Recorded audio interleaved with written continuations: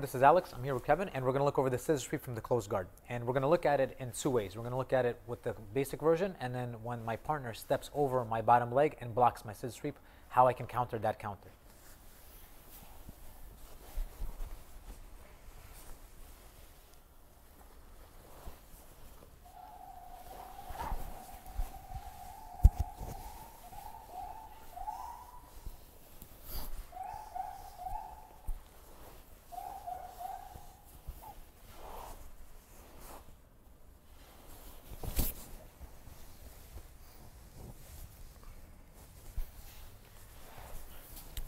So when I'm in the closed guard,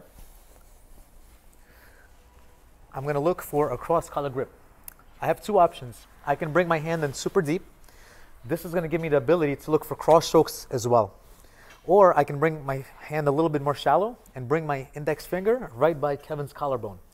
What this is going to do is it's going to give me more options to go for loop chokes. So if Kevin's posture is broken, I can look to loop his head and go for loop chokes. So I can look for either of those grips, but I don't want to go below the collarbone. So as soon as I'm here, I'm going to make a, a grip and I'm going to take away the same side sleeve on his arm. I'm going to put my foot onto the floor and I'm going to escape my hip. As I escape my hip, I need to keep this leg nice and high. I don't want to drop this too early because it's going to be too easy for Kevin to step over and to start to pass my guard. So I'm going to keep this, this foot right above his hip line. From here, I'm going to now connect my knee to his chest. I don't want to bring my knee too low on his belly because now I'm going to be carrying a lot of his weight and now I can start to get squashed. So I'm going to have my knee right into his chest. As soon as my knee is in chest, now my foot is going to travel towards the floor.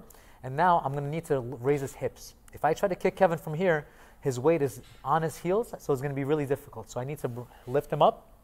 As soon as his, he his hips come off his heels, now Kevin becomes light. I can scissor my legs and make Kevin fall.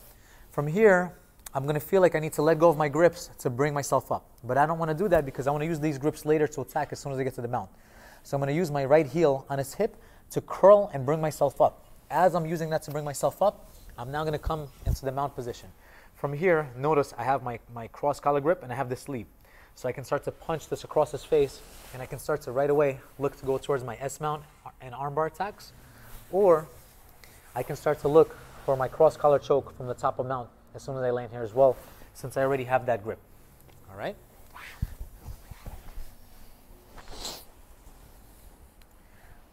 So I'm going to start with my cross collar grip, and I'm always pulling my, my partner towards myself.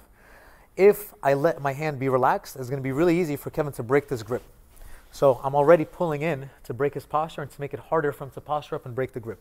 I'm going to get a sleeve grip, foot goes onto the floor, I'm going to escape my hip, and I'm going to put my knee into his chest.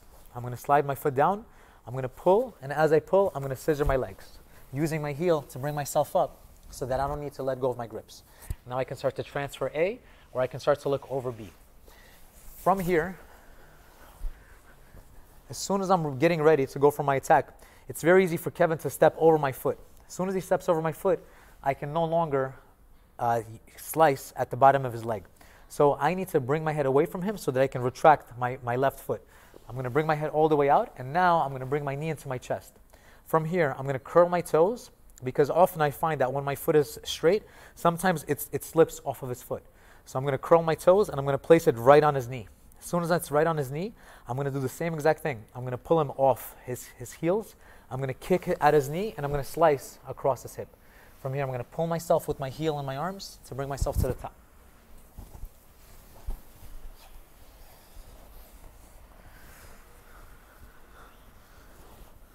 I'm getting into my position. Kevin steps over.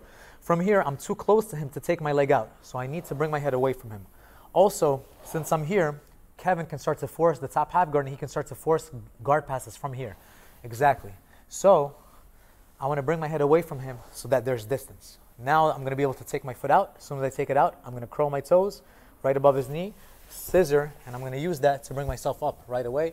And now I can look to attack Kevin from the top.